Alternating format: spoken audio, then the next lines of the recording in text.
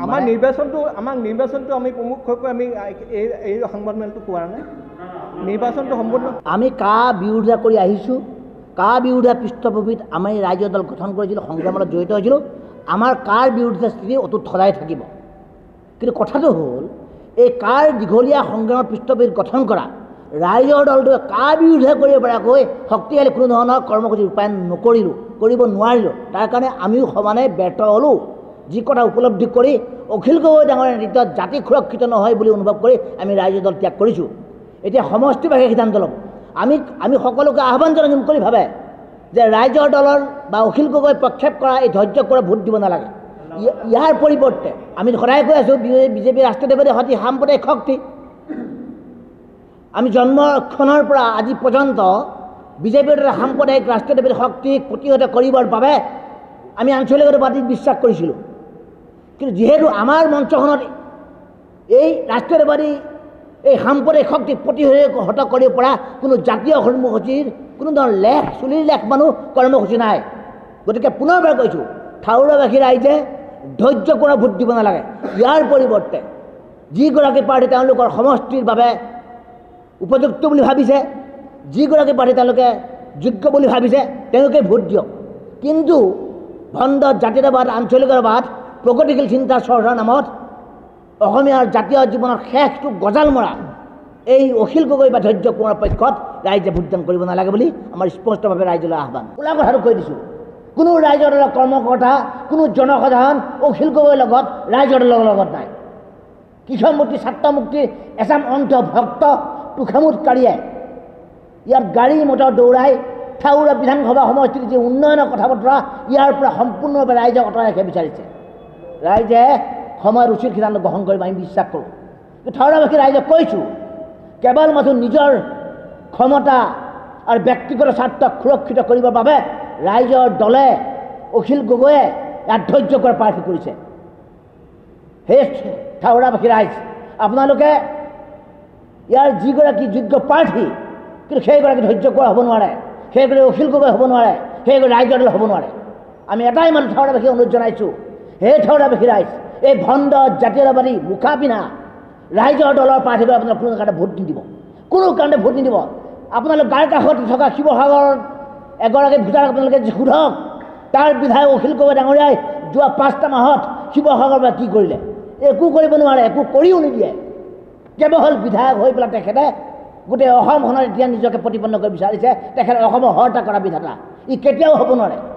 মিয়া মুছলিমৰ ভোটৰ স্বাৰ্থত আহোমক গালি দিয়া ল'ৰাবিলাকৰ ওপৰত ব্যৱস্থা ল'ব নোৱাৰে। আজিৰ প্ৰায় এটা মাহ হোৱা নাই। এই ছাত্ৰ মুক্তি সংগ্ৰাম সমিতিৰ এজন কৰ্মকৰ্তাই আহোমক খিলঞ্জীয়া নহয় বুলি গালি গালাজ পৰিলে এবাৰলৈ ৰাইজৰ দলে এবাৰলৈ কৃষক মুক্তিয়ে এবাৰলৈ অখিল গগৈয়ে সেইজন কৰ্মকৰ্তাৰ ওপৰত বিহিত ব্যৱস্থা কিয় ল'বলৈ সাহস নকৰিলে? থাউৰা সময়ত আহোম নিৰ্ণায়ক ভোট। আহোম সম্প্ৰদায়ক আহোম জনগোষ্ঠীক মনত আঘাত দিয়া এই ছাত্ৰ এই কৃষক এই ৰাইজৰ দল কিমান বিষাক্ত অসমৰ বাবে সেই কথা ধাৰাবাসী ৰাইজে বুজি পাইছে। আৰু সেইবাবে এটা সপ্তাহ যেতিয়া আমি ঘূৰিছোঁ, আমি উপলব্ধি কৰিছোঁ, কোনো কাৰণত থাউৰাবাসী ৰাইজে ৰাইজৰ দলৰ ধৈৰ্য কোঁৱৰ বা অখিল গগৈ কথাত আৰু ভুল নাযায়। আপোনালোকে চাওক, অসমখনত এতিয়া সাম্প্ৰদায়িক নিৰ্বিভাজনৰ দৰে ঘটনা ঘটি আছে। আৰু এই মুহূৰ্তত অসমীয়া খিলঞ্জীয়া ভূমিপুত্ৰসকলৰ পক্ষত অখিল গগৈ এষাৰ মাত মাতিবলৈ সময় নাপায়। কিন্তু সৌসিদানে গৰু খুটিত যেতিয়া বিদেশি বাংলাদেশী বেদখলে উচ্ছেদ কৰিছে অখিল গগৈ উঠিবই লাগিছে। কাৰ স্বাৰ্থত অসমখনক বাংলাদেশী হাতত গতাই দিয়া বা অসমক ন্যায়ালয়ন গঠন কৰাবৰ বাবে এই অখিল গগৈ ডাঙৰীয়াই এক গোপন এজেণ্ডা তৈয়াৰ কৰি লৈছে। মই স্বজ্ঞানে সুস্থ বিবেকেৰে কৈছোঁ, অসমক বাংলাদেশী মুছলিমৰ হাতত গতাই দিবলৈ বাংলাদেশীৰ মুছলিমৰ ভোটেৰে তেখেতে অসমৰ মুখ্যমন্ত্ৰী হ'বৰ বাবে। এইবাবে তেখেতে অবৈধ বাংলাদেশী পক্ষৰ কথা কৈ আছে। গতিকে অখিল গগৈ ডাঙৰীয়াক সকীয়াই দিছোঁ। এনেকুৱা তোমালোকে মৰ সাহ নকৰিবা। যদি ভাবিছা যে অখিল গগৈ ডাঙৰীয়া অসমৰ হৰত্যাগ কৰা বিধাতা অসমখন অসমীয়া জাতিটো অখিল গগৈ ব্যক্তিগত সম্পত্তি, এই কথা ভুল। থাউৰাত কিয় নিৰ্বাচনৰ কাৰণে ইমান উঠিবই লাগিছে? যদি এটা প্ৰকৃত এটা সুস্থ আঞ্চলিকতাবাদ দিব বিচাৰিছা অসমৰ পাঁচটা বিধানসভা সমষ্টি উপ নিৰ্বাচন হৈছে। কিয় কিয় কিয়? কিয় বাকীকেইটা সমষ্টিত তোমালোক উঠিবই লগা নাই? কিয় বাকীকেইটা সমষ্টিত তোমালোকে দল প্ৰতিষ্ঠাৰ কাৰণে চিন্তা কৰা নাই? কেৱল মানে থাইৰাত কিয়? থাউৰাত এইবাবেই যে অখিল গগৈ ডাঙৰীয়াক আৰু এজন বিধায়কৰ হয়তো প্ৰয়োজন হৈছে। নহয়তো। অখিল গগৈ ডাঙৰীয়াই বিজেপিৰ লগত গোপন মন্ত্ৰণা কৰি এই বিজেপি প্ৰাৰ্থীগৰাকীক জিকাবৰ বাবেই বিৰোধী শক্তি ভাঙি চুৰমাৰ কৰি দিছে। এহাতে বিৰোধী শক্তি ঐক্যৰ কথা ক'ব। আনহাতে আকৌ বিৰোধী শক্তিক সমালোচনা কৰিব বিৰোধী শক্তিক ভাগ ভাগ কৰিব ই কেনেধৰণৰ ৰাজনীতি প্ৰকৃততে সুস্থ আঞ্চলিকতা প্ৰতিষ্ঠা কৰিব বিচাৰিছিলা অসম জাতীয় পৰিষদৰ লগত আলোচনা নকৰিলা কিয় মৃত্যুতা নকৰিলা কিয় যেতিয়া দল গঠন হৈছিলে, যোৱা বছৰ দুই অক্টোবৰ তাৰিখৰ দিনা, সেইদিনা আমাৰ ঘোষণা পত্ৰৰ চাৰি নম্বৰ দফাত কোৱা হৈছিলে। কোনো কোনো কোনো কাৰণত বিজেপিৰ দৰে সাম্প্ৰদায়িক শক্তি ইউ ডি এফৰ দৰে সাম্প্ৰদায়িক শক্তি, কংগ্ৰেছৰ দৰে ৰাষ্ট্ৰীয় শক্তিৰ লগত কোনো কালে, কস্মিন কালেও কেতিয়াও আলোচনা বিলোচনা বা মৃত্যুতা নহ'ব এটা বছৰ পাৰ নহ'ল এই থাউৰা নিৰ্বাচনত ধৈৰ্য কৰা জিকাবৰ বাবে কংগ্ৰেছৰ পিঠি উঠিবৰ বাবে ইমান ভূপেন দা ভূপেন কৈ থকা কাৰণ কি? ইমান ভূপেন দা ভূপেন কৈ থকা কাৰণ কি? কংগ্ৰেছৰ পিঠিত উঠি নিৰ্বাচনী বৈতৰণি পাৰ হ'বলৈ আহিছা। কিন্তু যদি প্ৰকৃত আঞ্চলিকতা কথা চিন্তা কৰিছিলা, জাতীয় পৰিষদৰ তোমালোকে আলোচনা কিয় নকৰিলা? জাতীয় পৰিষদৰ তোমালোকে মিত্ৰতা কৰি পেলাই অসমত কিয় নিৰ্বাচন নেখেলিলা? এই কথা বতৰাবিলাক সমগ্ৰ অসমবাসী ৰাইজে বুজি পাইছে থাউৰাবাসী ৰাইজে নখ দৰ্পণ কথা বতৰাবিলাক আছে।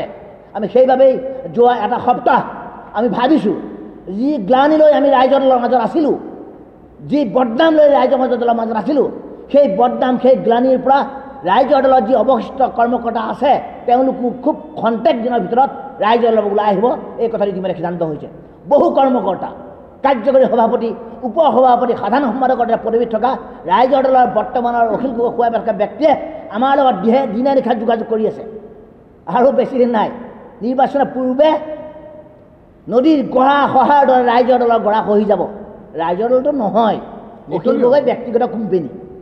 অখিল গগৈ ব্যক্তিগত কোম্পানীটো আৰু বেছিদিন নচলে দুৱাৰ বন্ধ হৈ যাব। সেইবাবে কৈছোঁ থাউৰা বেশি ৰাইজক বিভ্ৰান্ত কৰিবলৈ চেষ্টা নকৰিবা। এই যে তোমালোকে শ শ গাড়ী ইয়াত দৌৰাইছা কৃষক মুক্তি ছাত্ৰ মুক্তিৰ যে শ শ ল'ৰা ইয়াত ৰাখিছা খুৱাইছা বোৱাইছা ঘূৰাইছা গাড়ী গাড়ী তেল খৰচ কৰিছা এই হিচাপ থাউৰা বেশী প্ৰথমে দি লোৱা।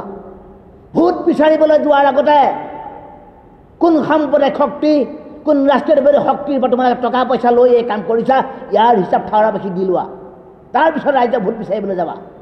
দুৰ্গা পূজা আহিলেই মন্দিৰলৈকে দীঘলকৈ পৰি ফুটটো ল'লেই একেদিনাই একেদিনাই অসমপ্ৰেমী হ'ব নোৱাৰে, একেদিনাই জাতিপ্ৰেমী হ'ব নোৱাৰে, একেদিনাই ধৰ্মপ্ৰেমী হ'ব নোৱাৰে। মিয়া মুছলিমে অসমৰ খিলঞ্জীয়া মানুহক ইটিকিং কৰিব, আহোমক ভূমিপুত্ৰ নহয় বুলি গালি পাৰিব, সেই মিয়া মুছলিম বাংলাদেশীৰ পক্ষত এই অখিল গগৈ ডাঙৰীয়া দিনা কাম কৰি আছে। আকৌ কৈছোঁ শেষত অসমক বাংলাদেশী হাতত গতাই দিয়া আৰু অসমখনৰ এখন ন্যায়ালয়লৈ ৰূপান্তৰিত কৰাটোৱেই অখিল গগৈ ডাঙৰীয়া এতিয়া মূল এজেণ্ডা। আমাৰ মাজত ধ্ৰুৱজ্যোতি ফুকন ডাঙৰীয়া আছে।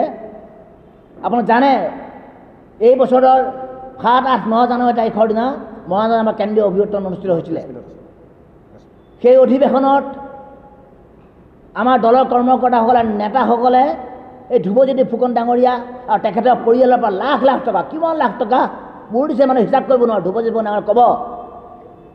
ঋণ সূত্ৰে লৈছে আজিলৈকে এই টকা পইচা ঘূৰাই দিয়া নহ'ল। কিন্তু ইয়াৰ পৰিৱৰ্তে এই নিৰ্বাচনত কোটি কোটি টকা কৰ্ম খৰচ কৰিলে। এই হিচাপো আমাক লাগিব এতিয়া।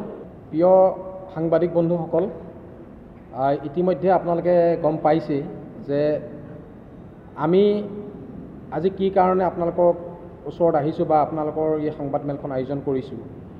সংবাদমেলখন আয়োজন আগবঢ়োৱাৰ আগতে আমি প্ৰথমে কৈ দিব বিচাৰিছোঁ।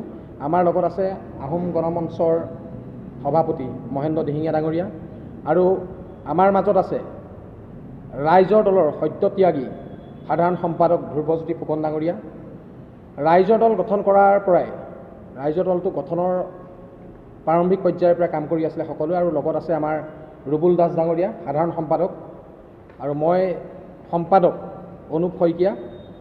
সহ সম্পাদক চিফুজ্জ্বল বসুমতাৰী আছে প্ৰদীপ কলিতা ডাঙৰীয়া আছে আৰু বিভিন্ন দল সংগঠনৰ আমাৰ যিবিলাক দল সংগঠনে সতৌ সংগঠনৰ পৰা যি ৰাইজৰ দল গঠন কৰিছিলোঁ ৰাইজৰ দল গঠন কৰাৰ প্ৰাৰম্ভিক কাম কাজত থকা আমাৰ দল সংগঠনসমূহ আছে ইয়াত আপোনালোকৰ মাজত। এতিয়া মেইন মূল কথা হ'ল আমি যিহেতু ইতিমধ্যে জানে পাঁচটাকৈ সমষ্টিত উপ নিৰ্বাচন হৈছে আৰু উপ নিৰ্বাচনৰ এই সমষ্টিকেইটাৰ ভিতৰত আটাইতকৈ যদি চাওঁ থাওৰা সমষ্টিটোত এক আকৰ্ষণীয় যুঁজ পৰিলক্ষিত হৈছে।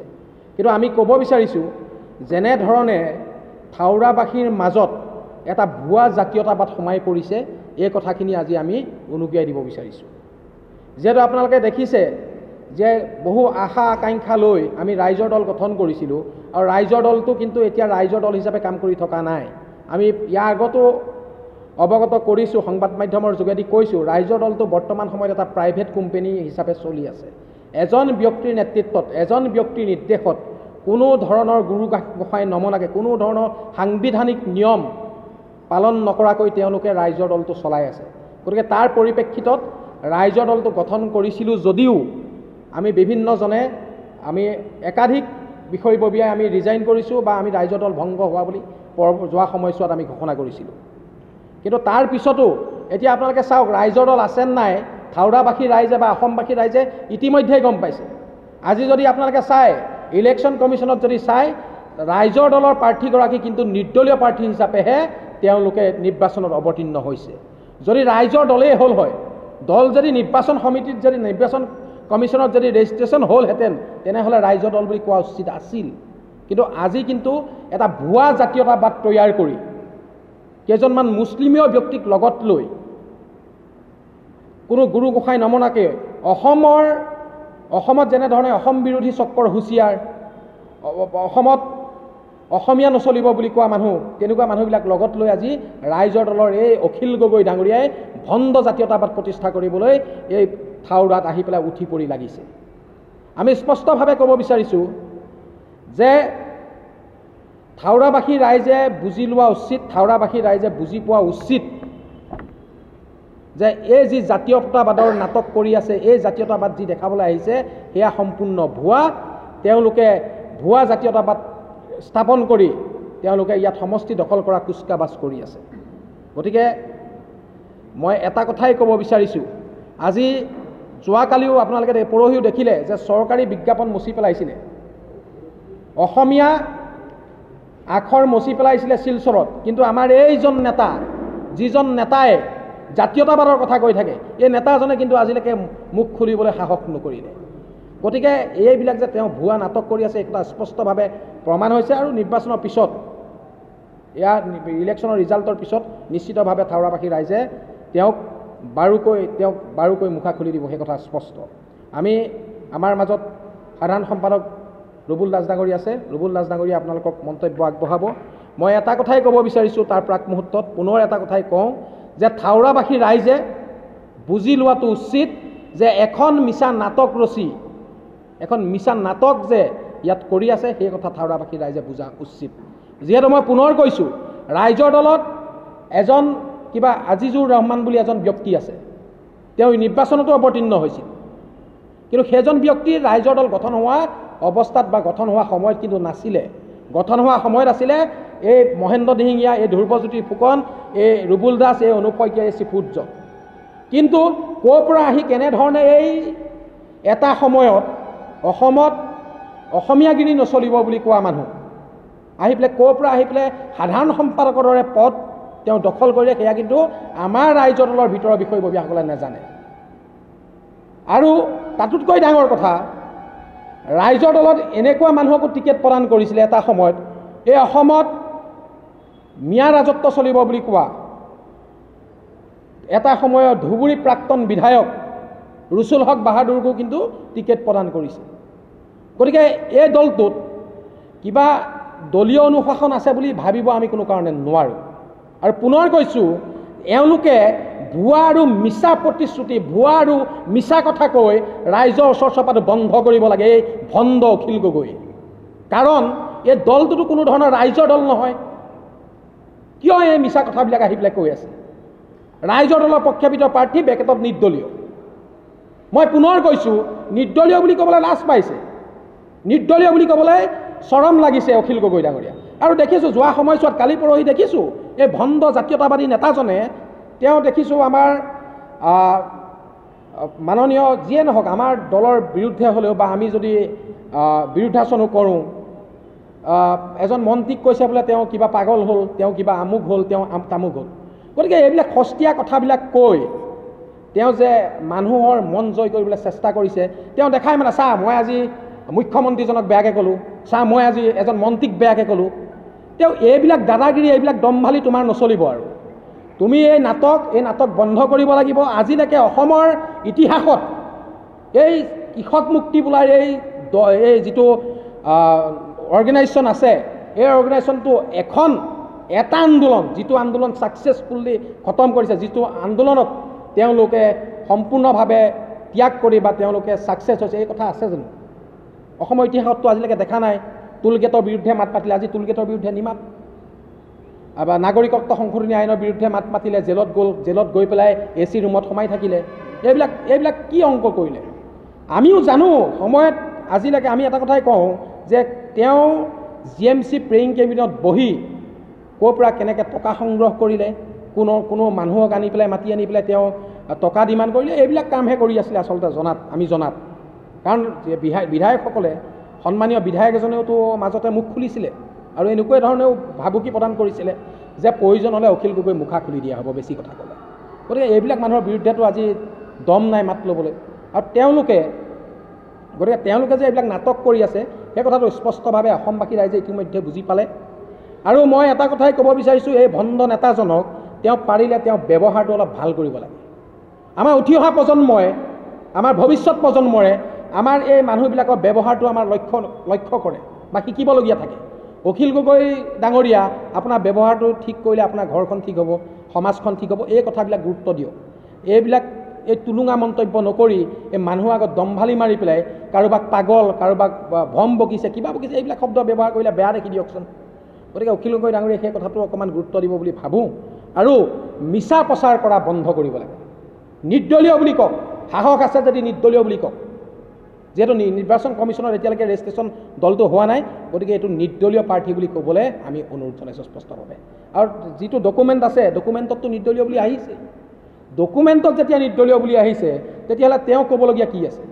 ৰাইজৰ দল ৰাইজৰ দল কিয় চিঞৰি আছে? ৰাইজৰ দলটো আমি ভাঙিয়ে পেলাইছোঁ। গতিকে এই ৰাইজৰ দল ভঙাৰ পিছত মিছাকৈ ৰাইজৰ দল বুলি কৈ এই মানে এই ৰাইজৰ দল বুলি কৈ ৰাইজক আভুৱা ভৰা নৈতিক অধিকাৰকণ অখিল গগৈ ডাঙৰীয়া নাই। গতিকে আমাৰ সাধাৰণ সম্পাদক ৰবুল দাস ডাঙৰীয়া আছে। ৰবুল দাস ডাঙৰীয়াই আপোনালোকক অৱগত কৰিব বাকী কথাবিলাক।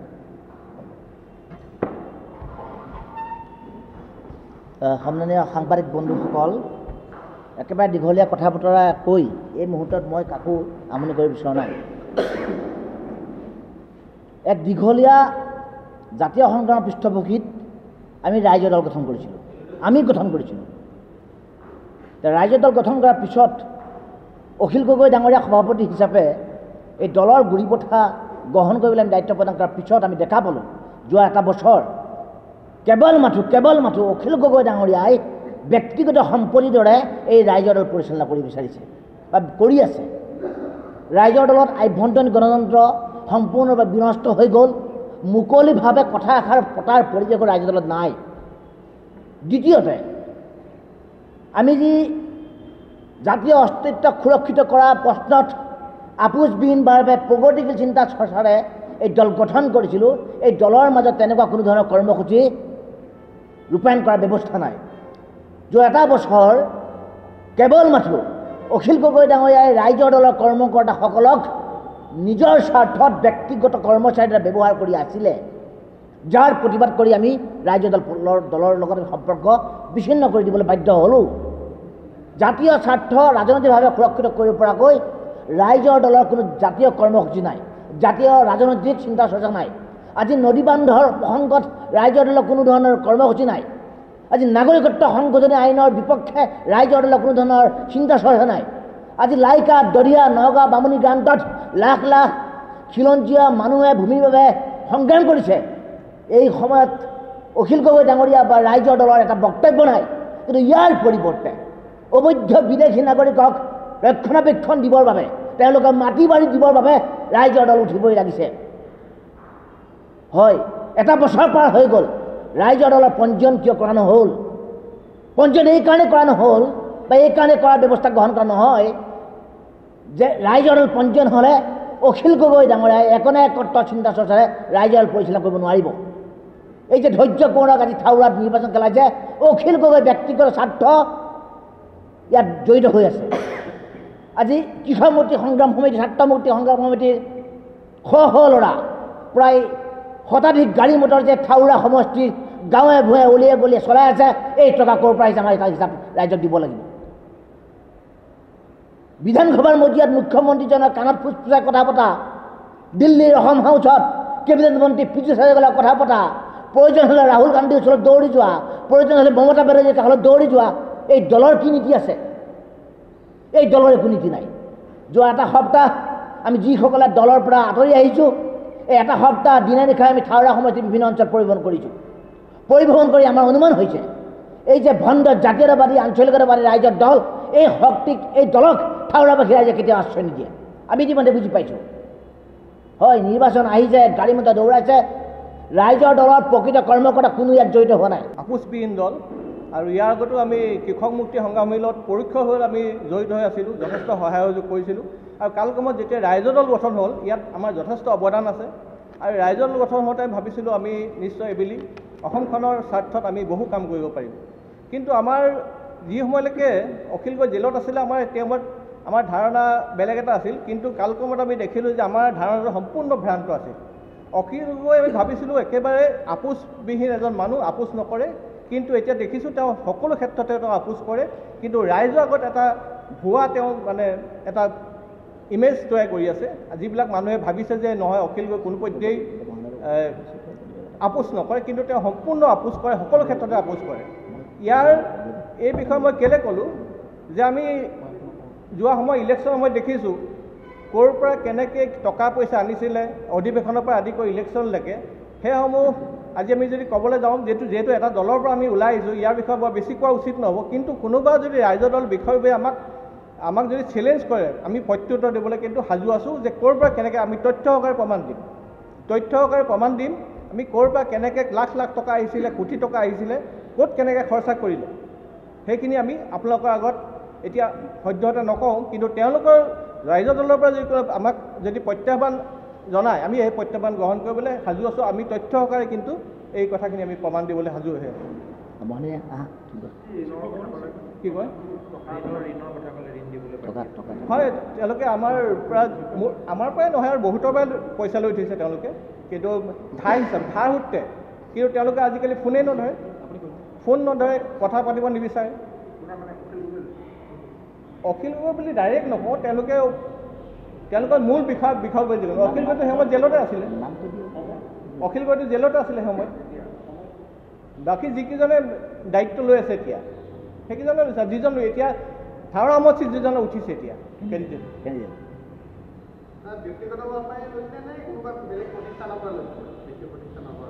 বিত্তীয় প্ৰতিষ্ঠান নহয় ব্যক্তিগতভাৱে লৈছিলে। হয় ধাৰ সূত্ৰে। আমিতো জানো কিন্তু এতিয়া এইবিলাক কথা তাৰমানে বিষয়টো অলপ খোলাকৈ ক'বলৈ গ'লে আজিৰ থাউৰাত অখিল গগৈ ডাঙৰীয়াৰ প্ৰাৰ্থী। এই ধৈৰ্য কোঁৱৰে যোৱা জানুৱাৰী মাহত যেতিয়া মৰাণ অধিৱেশন হৈছিলে এই মৰাণ অধিৱেশনখনত দেখুৱাই পেলাই ধ্ৰুৱজ্যোতি ফুকন শ্যামল ফুকনৰ দৰে বহু ব্যক্তিৰ পৰা লাখ লাখ টকা তেওঁ সংগ্ৰহ কৰিছিলে।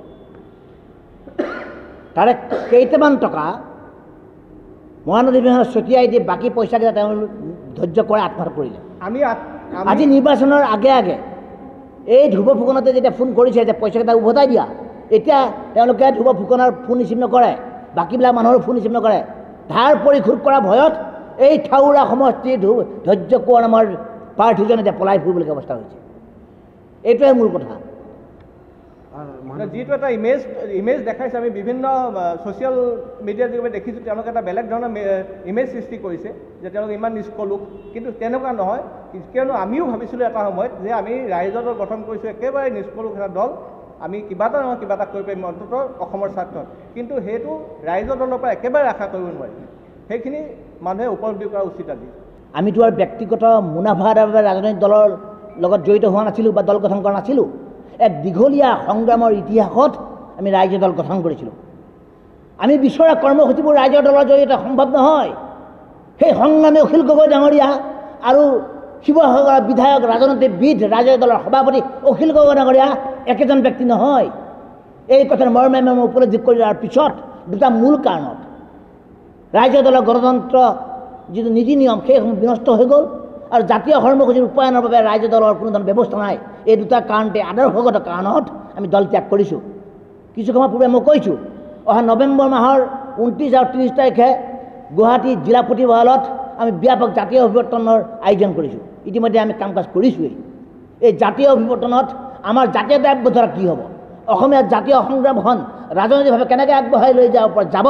এই সকলোবিলাক বিষয় অসমীয়া জাতিয়ে ভবাৰ দৰে অসমীয়া ৰাইজে ভবাৰ দৰে নিৰূপণ কৰা হ'ব। অন্ততঃ অসমবাসী অ, নৱেম্বৰ মাহৰ শেষৰ ভাগত হ'বলগীয়া জাতীয় অভিৱৰ্তনলৈকে আমাৰ স্থিতি কি হ'ব অকণমান অপেক্ষা কৰি আমাৰ ওপৰত দৃষ্টি ৰাখিবলৈ আমি অনুৰোধ জনাইছোঁ। মই পোনপ্ৰথমে থাওৰাবাসী সকলো ৰাইজলৈ এটাই অনুৰোধ কৰিম যে যিটো আমাৰ ভণ্ড ৰাইজৰ দল জাতীয়তাবাদত অখিল গগৈ ডাঙৰীয়াই আজি যি মানুহক আভুৱা সৃষ্টি কৰিছে এইটো বন্ধ কৰিব লাগে। আৰু আজি থাওৰা সমষ্টিত বিছটা পঞ্চায়তত আমাৰ বিভিন্ন জনজাতীয় মানুহ আছে। সোণোৱাল কছাৰীয়ে হওক ঠেঙাল কছাৰীয়ে হওক দেউৰী মিচিং জাতীয় যিসকল জনজাতীয় লোক আছে তেওঁলোকক মই বিশেষকৈ মই এজন ৰাইজৰ দলত আহিছিলোঁ। অসম বড়ো কছাৰী জাতীয় পৰিষদ অসমীয়া ভাষীৰ পৰা জাতি জাতিৰ স্বাৰ্থত অসমৰ হৈ কাম কৰিবলৈ জাতিৰ হৈ কাম কৰিবলৈ। কিন্তু পৰৱৰ্তী কালত আমি গম পালোঁ যে ৰাইজৰ দলটো এটা সম্পূৰ্ণভাৱে আগুৱাই বঢ়া এটা জাতীয় ভণ্ড জাতীয়বাদ ৰাইজৰ দল।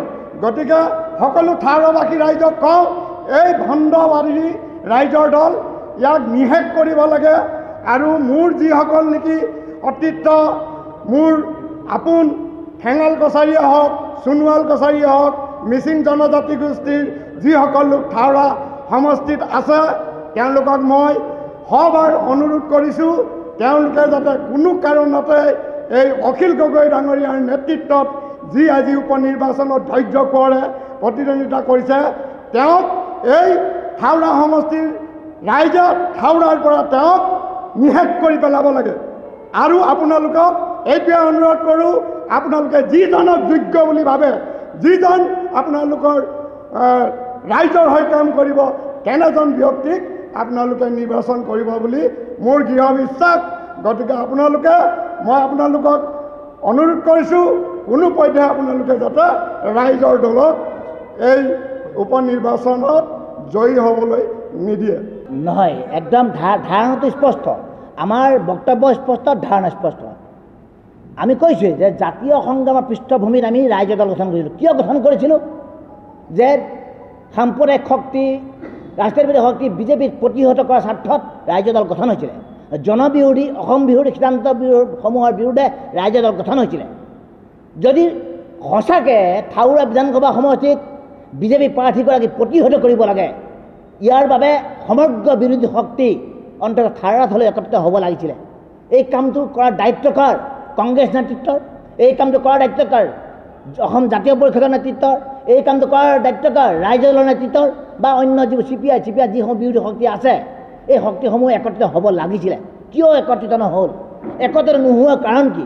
আমি অনুমান কৰিছোঁ, আমি সন্দেহ কৰিছোঁ, আমি ধাৰণা কৰিছোঁ যে এহাতে বিৰোধী ঐক্যৰ কথা কৈ, বিৰোধী ঐক্যৰ ভাঙি দিবৰ বাবেই ৰাইজৰ দল বা অখিল গগৈ কাম কাজ কৰি থকা নাই। কাৰণ নিৰ্বাচনৰ অধিক অধিসূচনা জাৰি নোহোৱাৰ পূৰ্বতে এই ডিমৌৰ প্ৰেছ ক্লাবত বা ডিমৌৰ সংবাদমেলৰ জৰিয়তে ধৈৰ্য কৰা ৰাইজৰ দলৰ প্ৰাৰ্থী বুলি ঘোষণা কৰি বিৰোধী ঐক্যটো ধান ধান কৰি দিয়া নাছিলে নেকি? এহাতে ৰাহুল গান্ধীৰ কাষত গৈ থিয় হৈ কথা কোৱা এইগৰাকী অখিল গগৈ ডাঙৰীয়াই আকৌ সেই কংগ্ৰেছ দলৰে ব্যক্তিসকলক সমালোচনা কৰি দলক সমালোচনা কৰি বিৰোধী ঐক্য ঠান বান কৰি দিয়া নাই নেকি? গতিকে মই ভাবোঁ যে বিৰোধী ঐক্য গঢ়ি গঢ়ি তুলিব নোৱাৰাটো আটাইবিলাক বিৰোধী শক্তিৰ ব্যৰ্থতা। এই ব্যৰ্থতাৰ তেওঁলোকে মোৰ দায়িত্ব ল'ব লাগিব। সেইবাবে কৈছোঁ যে আওপকীয়াকৈ বিজেপি প্ৰাৰ্থীগৰাকীক এই নিৰ্বাচনত জয়লাভ কৰাবৰ বাবেই ৰাইজৰ দলে কাম কাজ কৰি আছে বুলি আমি সন্দেহ কৰিছোঁ আমি ধাৰণা কৰিছোঁ। বাকী কথা ৰাইজ অহা ত্ৰিছ অক্টোবৰ তাৰিখৰ দিনা থাওৰাবাসী ৰাইজে সিদ্ধান্ত গ্ৰহণ কৰিব। আমাৰ জাতীয় সংগ্ৰামটো আগবঢ়াই নিবৰ কাৰণে। কিন্তু আমি ৰাইজৰ দলত দেখিলোঁ যিবিলাক ৰাইজৰ দলৰ ভিতৰচোৱাত যিবিলাক তেওঁলোকে এটা একচেটিয়াভাৱে নিজাববীয়াকৈ কিছুমান সিদ্ধান্ত লৈছে কিন্তু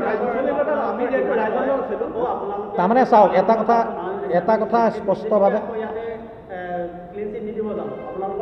নহয় নহয় এতিয়া নহয় নহয় এটা কথা মানে শুনক অখিল গগৈ ডাঙৰীয়াৰ যি ৰাজনৈতিক কাম কাজ বন্ধু সাংবাদিকগৰাকীয়ে যি প্ৰশ্ন কৰিছে অখিল গগৈ ডাঙৰীয়াৰ যি ৰাজনৈতিক কাম কাজ এই কাম কাজ আমাৰ পূৰ্ণ সন্দেহ আছে, এই কাম কাজ বিজেপিৰ পক্ষত কৰি আছে।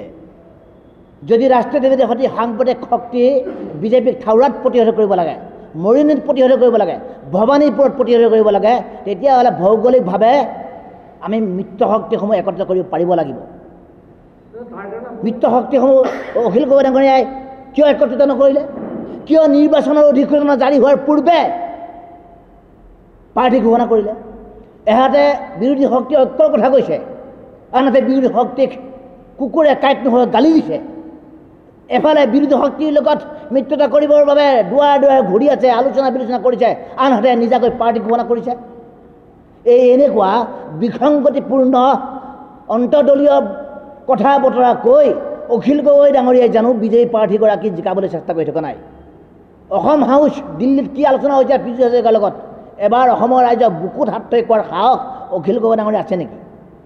বিধানসভাৰ মজিয়াত মুখ্যমন্ত্ৰীগৰাকীক কাণত ফুচফুচাই কি কথা পাতিছিলে, অসমৰ ৰাইজক কিয় নক'লে? বিধানসভাৰ মজিয়াত চকুমুটি কাৰ বিৰুদ্ধে কিয় নকৰিলে? গো ৰক্ষা আইনখনৰ বিৰুদ্ধে চকুমুটি প্ৰতিবাদ কৰা এই অখিল গগৈ ডাঙৰীয়াই বিধানসভাৰ মজিয়াত বা বাহিৰত কিয় আজিলৈকে কাৰ বিৰুদ্ধে প্ৰতিবাদ কৰিব পৰা নাই? কিয় পৰা নাই? সৌ সিদিনা ছাত্ৰ মুক্তি ল'ৰাই কৈ দিলে, আহোম ভূমিপুত্ৰ নহয়। কিয় এতিয়ালৈকে অখিল গগৈয়ে সেই ল'ৰাজনৰ ওপৰত শাস্তি মানে ব্যৱস্থা গ্ৰহণ কৰিব পৰা নাই? কিয় লাইকাদৰ হিয়াত থকা খিলঞ্জীয়া, মৰাণ, মটক, মিচিং ভাই বন্ধুসকলৰ মাটিৰ পট্টা দিয়ক বুলি অখিল গগৈৰ সেই অঞ্চললৈ যাব পৰা নাই? কিয় গৰুসগীত সন্দেহযুক্ত বিদেশীক উচ্ছেদ কৰাত যে ইমান তেওঁলোকে যে বিৰোধিতা কৰি উঠিবই লাগিছে? গতিকে আমি মাথো ৰাইজক প্ৰকৃত ছবিখন দেখুৱাই দিছোঁ। সিদ্ধান্ত ৰাইজৰ। গণদেৱতাই সিদ্ধান্ত ল'ব তেওঁলোকৰ প্ৰতিনিধি কোনো হয়। কিন্তু থাউৰাবাসী ৰাইজক বুজাই আমি ক'ব বিচাৰিছোঁ, এই ভণ্ড জাতীয়তাবাদ আঞ্চলিকতা শক্তিটোক আশ্ৰয় নিদিব আপোনালোকে। ইয়াৰ পৰিৱৰ্তে আপোনালোকে যিগৰাকী যোগ্য প্ৰাৰ্থী বুলি ভাবে, সমষ্টিৰ সৰ্বতো প্ৰকাৰৰ সামগ্ৰিক উন্নয়ন, সমবিকাশ স্বাৰ্থজনে ভোটদান প্ৰদান কৰিব। সেইটোহে আচলতে ৰাইজক আমি ক'ব বিচাৰিছোঁ। আৰু কৈছোঁ, আমি স্থিতি স্পষ্টভাৱে কৈছোঁ যে প্ৰকৃত সুস্থ আঞ্চলিকবাদ পোষকতা কৰিছোঁ বাবেই ৰাইজৰ দল ত্যাগ কৰাৰ পিছতো আমি কোনো ধৰণৰ ৰাজনৈতিক দৰ্শন বা ৰাজনৈতিক দলৰ লগত জড়িত হোৱা নাই এই পৰ্যন্ত ইয়াৰ পৰিৱৰ্তে অহা নৱেম্বৰ মাহৰ ঊনত্ৰিছ আৰু ত্ৰিছ তাৰিখত গুৱাহাটীত আমি এক ব্যাপক জাতীয় অভিৱৰ্তনৰ আয়োজনৰ ইতিমধ্যে কাম কৰা আৰম্ভ কৰিছোঁ। ডিব্ৰুগড়ৰ পৰা সৌ সিদিনা আমি অভিৱৰ্তন পাতি কৈছোঁ যে অসমীয়া জাতিক সুৰক্ষিত কৰি অহাৰ স্বাৰ্থত এই জাতীয় সংগ্ৰামখন আঞ্চলিকতাবাদী ৰাজনীতিৰ মাজেৰে কেনেকৈ আগবঢ়াব লাগে? এই বিষয়টো দল, মত, ধৰ্ম, বৰ্ণ, নিৰ্বিশেষে জাতীয় অভিজ্ঞতা ঠিক কৰা হ'ব। কৰ্মসূচী কেনেধৰণে ৰূপায়ণ কৰা হ'ব, জাতীয় কৰ্মসূচী কেনেধৰণৰ হ'ব, জাতীয় অভিজ্ঞতা নিৰূপণ কৰিব পুনৰবাৰ কৈছোঁ, অখিল গগৈ ডাঙৰীয়া শেহতীয়া কাম কাজবিলাকে বিজেপিকে সহায় যে কৰিব, এই কথা স্পষ্ট। অৱশ্যে, বৰাক ভেলীত বংগলী ভাষাটো তেওঁলোকৰ স্থানীয় ভাষা। চৰকাৰী স্বীকৃতিপ্ৰাপ্ত স্থানীয় ভাষা। কিন্তু ঊনৈছশ ছাপন্ন চনৰ ভাষা আইন মতে অসমীয়া ভাষা অসমত চৰকাৰী ভাষা হ'ব লাগিব অসমীয়া। আজি বৰাকত থকা বেংগলী ভাই বন্ধুৱে যি আচৰণ কৰিছে, ই কেতিয়াও গ্ৰহণযোগ্য নহয়। ইয়াৰ সমসাময়িকভাৱে এইখন সাম্প্ৰদায়িক চৰকাৰ, এইখন চৰকাৰে এই পৰ্যন্ত সেই দুৰ্বৃত্তসকলৰ ওপৰত ল'ব নোৱাৰা ব্যৱস্থাৰ বাবে এই চৰকাৰো কিন্তু সমানে গৰিহণাযোগ্য সমানে গৰিহণাযোগ্য অসমীয়া মনৰ, মানুহৰ মনত আঘাত দি কোনেও অসমত শাসন যে কৰিব নোৱাৰে আৰু কেইটামান দিনৰ পিছত এই কথা স্পষ্ট হৈ পৰিব।